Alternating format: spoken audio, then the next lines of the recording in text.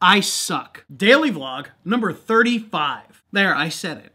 I suck. Well, at least that's something I used to say a lot. I used to be extremely critical of myself. Far more critical of myself than I'd be of other people. I'd hold myself to a higher standard than others. I'd nitpick every little tiny mistake I'd make. If I got a 99 on a test, I'd wonder why I didn't get a 100. I would reach epic levels of personal insults, saying things to myself that if anyone else had ever said to me, I'd probably sock him in the face. I know I'm not alone. I know there are many people out there who are overly critical of themselves. I'm too fat, I'm too thin, I'm too dumb, I'm too slow, I'm too you name it. Why am I bringing this up? Because I came across something that reminded me of what helped me get out of this.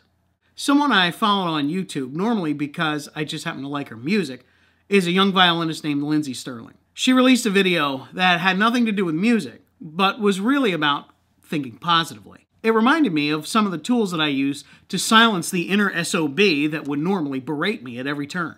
I'll put a link to her video down in the doobly-doo.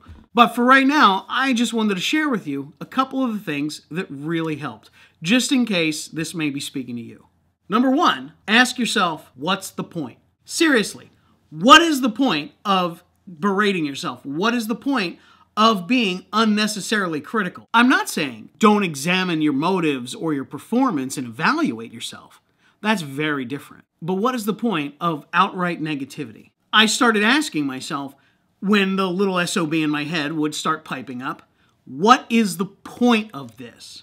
Because really, there is no point in beating yourself up. No point that's positive. By asking myself that question, I was able to break my inner SOB's cycle and pull myself out of that pattern of self deprecation.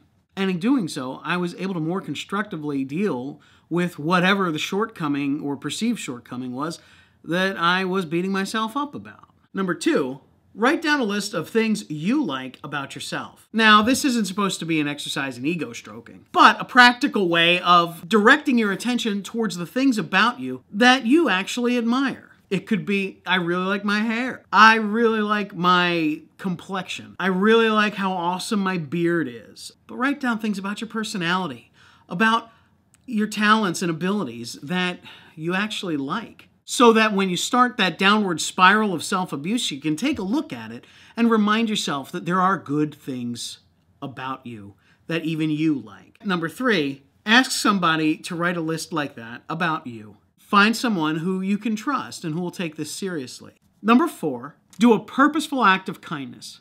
You'll be amazed at how doing something nice for another person makes you feel that much better about yourself. I'm not talking about a random act of kindness where at the spur of the moment you think, hey, I'll pay for the coffee of the guy behind me at Starbucks. Those are good, and by all means, do those. But a purposeful act of kindness is one where you take time to plan out a kindness or a good deed for somebody else be it your spouse or your best friend or your neighbor or the crossing guard at your corner who looks kind of miserable every morning. The point is to invest time and effort into making someone else's day a little brighter. And number five, shut up. Saying shut up to the inner SOB has been the most empowering and effective way of stopping that downward spiral of self deprecation. Since I started doing all of this, it has been a miraculous change in my mind.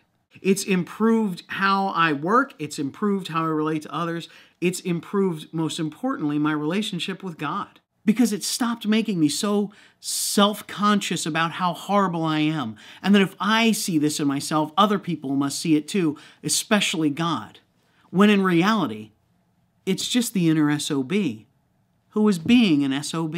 Obviously, if you have some really debilitating issues regarding self deprecation and self hatred, I highly recommend you talk to somebody who can help you through it. And I don't just mean a friend, a pastor, a counselor, a therapist. Somebody who knows how to help guide you to the point where you can realize that you do have inherent worth and are worth loving and respecting and honoring. What are three things that you really like about yourself?